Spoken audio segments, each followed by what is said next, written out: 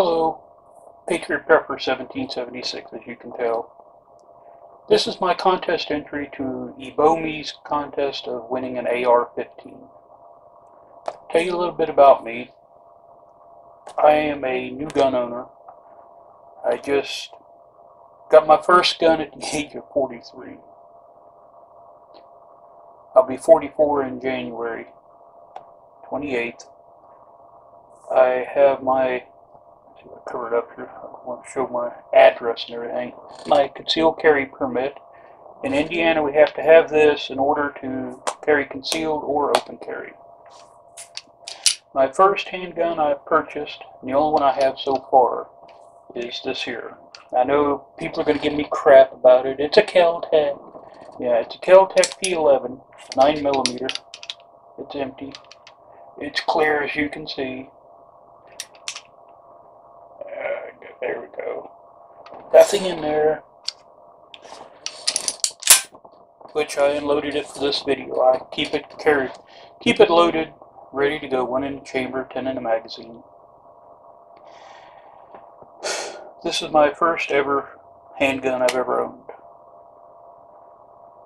It's my everyday carry. I carry it every day, no matter where I go. It's on me. I conceal carry it.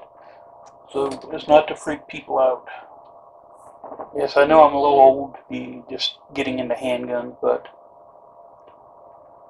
in August of 2005, I went through Hurricane Katrina and lost everything. That's what made me become a prepper.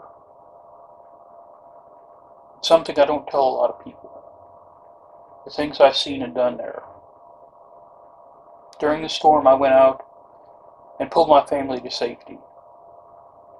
Got them to higher ground because the water was coming in and was going to overtake us if I didn't do something. After I got them to safety, I went and I helped others out. Got them to safety. I went in to a building and I checked on people's animals that they had to make sure they was all right. There was some dogs in there and there was some birds. That's a story I don't tell to many people. It still kind of bothers me, chokes me up. Even this August 29th will make 10 years, and it still bothers me. That's about me. What I would do with the AR-15, I would take it and I would use it. I would use it to go hunting with. I'd go to the range and shoot it. I would shoot the living crap out of that gun. That gun would be so babied. This Kel-Tec, I only paid 180 for it off a gun broker. This gun has been so babied. I have stripped the finish off of it, reblued it. I've done the, the Kel-Tec so-called fluff and buff to improve it. I clean this gun just about every day. I baby this gun. This is a cheap little gun. This is nothing compared to what you're giving away, so you can imagine what I would do with the gun you're giving away.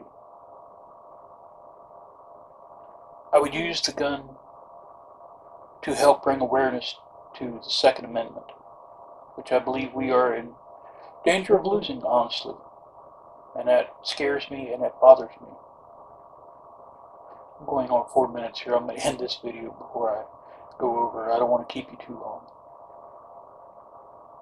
Whether I win the gun or I don't, I want to say one thing. Ebomey, I hope you're feeling better. I hope all of these health problems are behind you. You're a good man. I enjoy your videos. This Patriot Prepper reminding you, don't tread on me, and I won't tread on you. You have a good day.